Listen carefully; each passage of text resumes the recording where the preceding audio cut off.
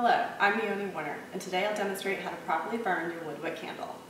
For the best burn, keep the wick trimmed to 1 8 inch after each use, or when the candle has burned for more than 3 hours. To trim the wick, allow the wax to cool completely and gently break off any burned edges with your fingertips or a paper towel.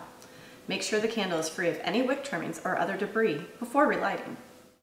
To avoid wax being left on the sides of the jar, burn your WoodWick candle until the melted wax reaches the edge.